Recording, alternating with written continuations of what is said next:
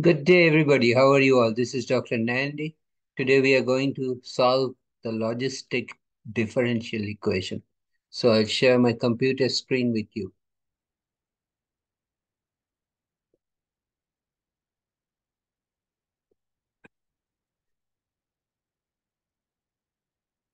Says solve the logistic differential equation dy over dt is equal to ky times 1 minus y over L, where k and L are constants, period. A population that satisfies this equation does not grow without bound, but approaches the carrying capacity L as T increases. Okay, so let's do the solution.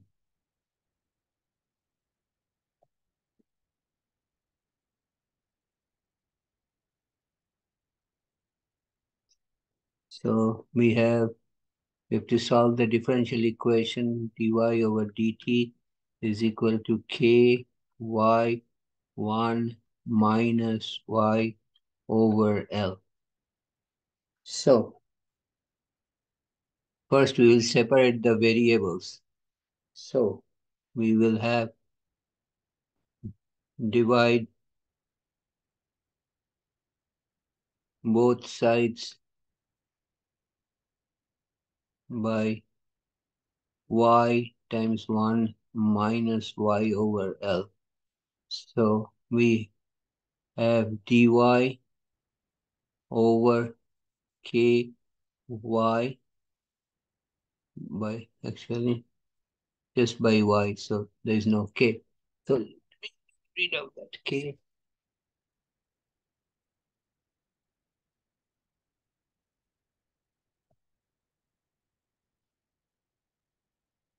dy by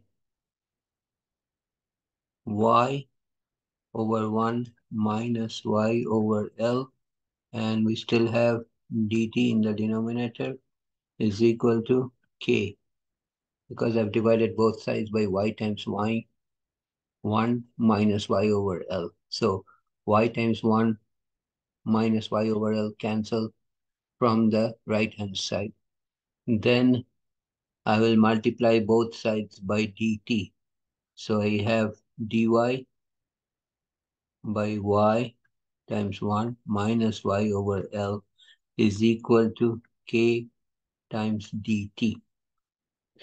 Okay, let me create some space for myself. Okay.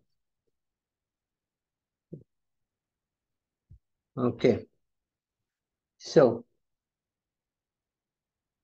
now it, I have on the left-hand side dy by divided by y minus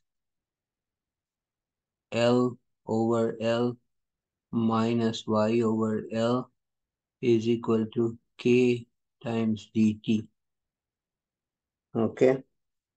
Or I will have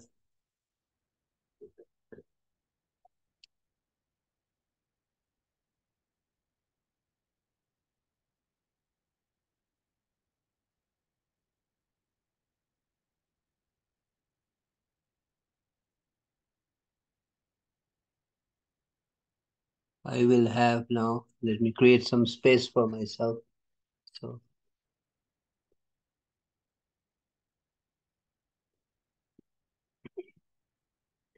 So I will have, hmm, I will have dy times L over y times L minus y is equal to k dt and k times dt. And I will integrate on both sides Okay.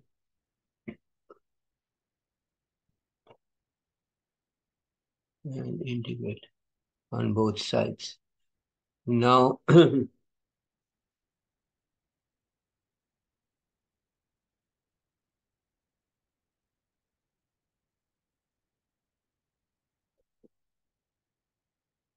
so let's consider the expression L over Y minus L minus Y. So L divided by Y times L minus Y. This is in the denominator, uh, in the left-hand side of the equal to sign. Okay. And we will split it up into partial fractions as A over Y plus B over L minus Y. Okay.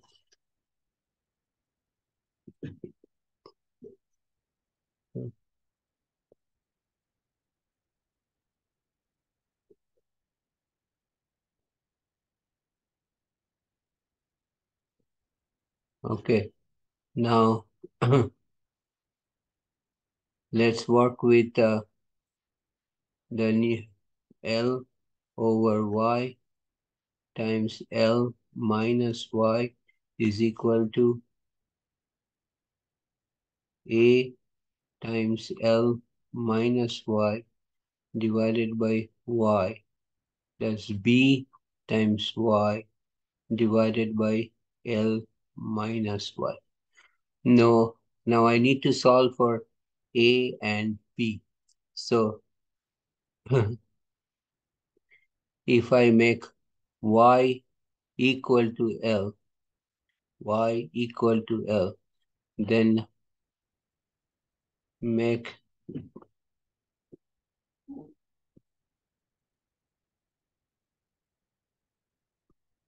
make we have substitute.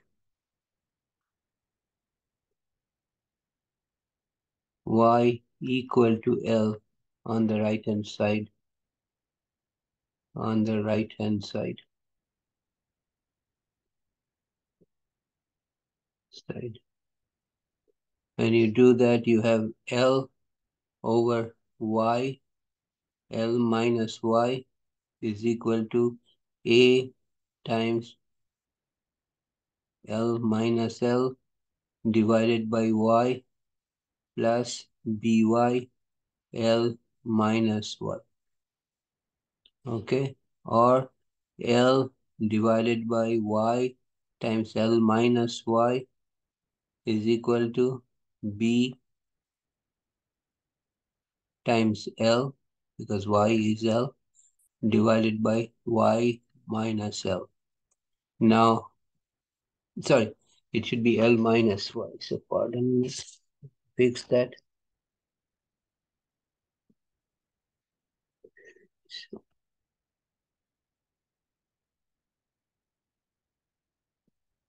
B times L divided by L minus Y and there is a Y uh, uh, so we have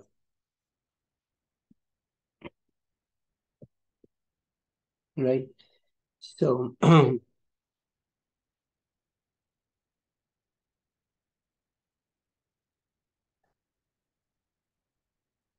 this is uh, actually this is y times L minus y, right? In the denominator. Now y times L minus y in the denominator cancel out. Okay, so if I move this slightly up, you'll see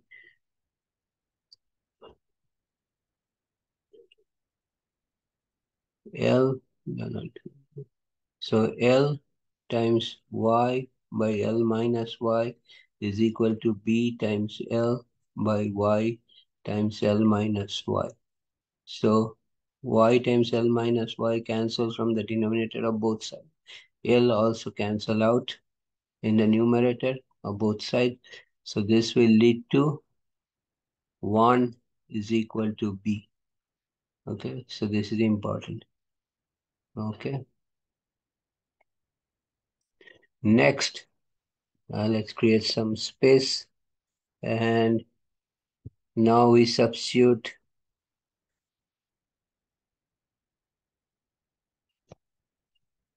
substitute so substitute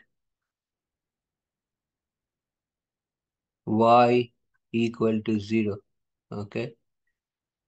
In the expression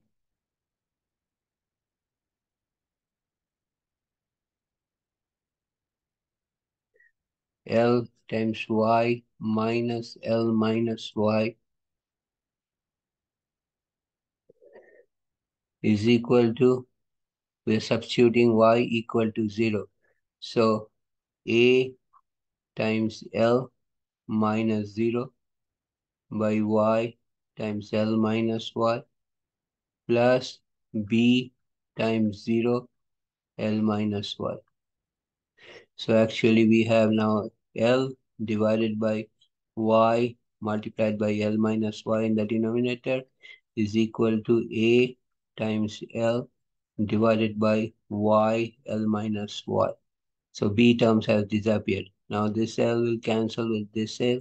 This y will cancel with this y and L minus y will cancel with L minus y, which will lead to 1 is also equal to A. So the reason for doing this partial fraction is we want to split up. So what do we want to split up? So I just want to remind you what we have done. So if I move this a little bit up, you will see. So basically, basically I'm transforming one uh, L over Y times L minus Y as A over Y plus B over L minus Y. So I have now on the left hand side. So let me start with this equation. dy by y. So if I reduce this little bit, see if I can create by some space for myself. So basically now I have this equation,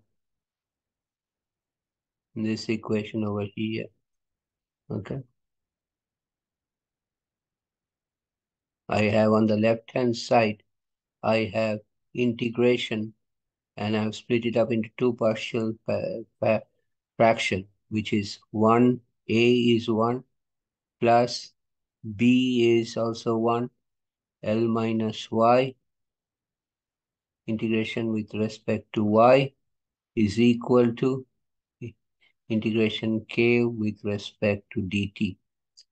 Okay, so this is the F result of all the partial fractions that I did. Okay, and now now we can integrate this with respect to y on the left hand side. So this is ln absolute value of y. Okay.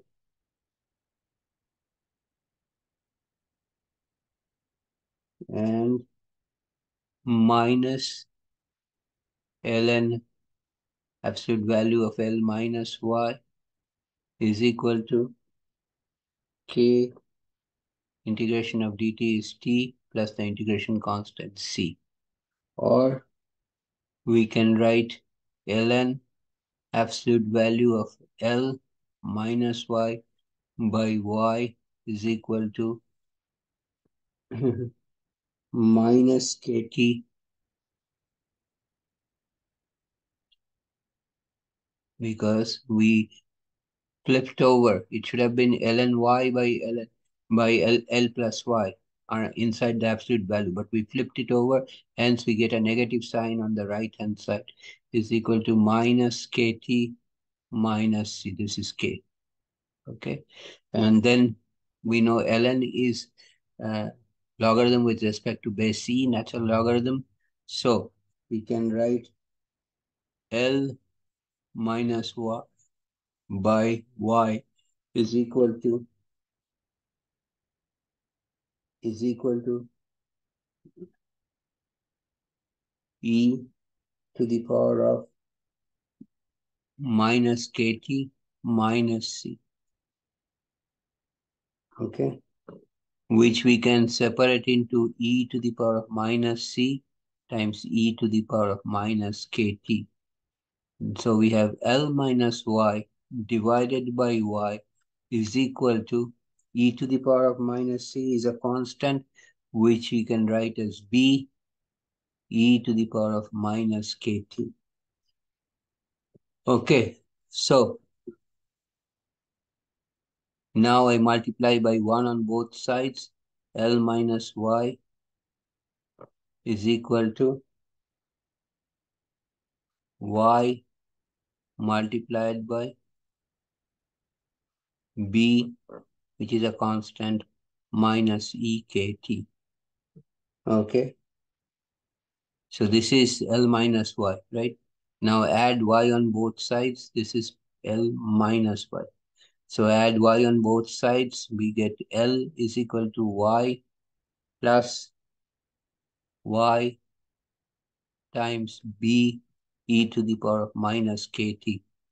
Now I take y as a common factor outside. 1 plus b, which is a constant, minus e to the power of kt.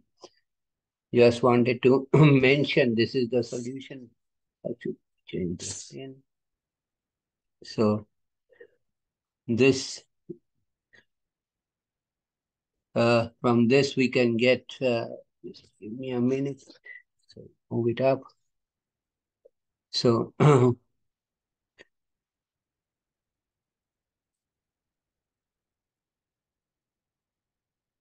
now we have divide by 1 plus b e to the power minus kt on both sides.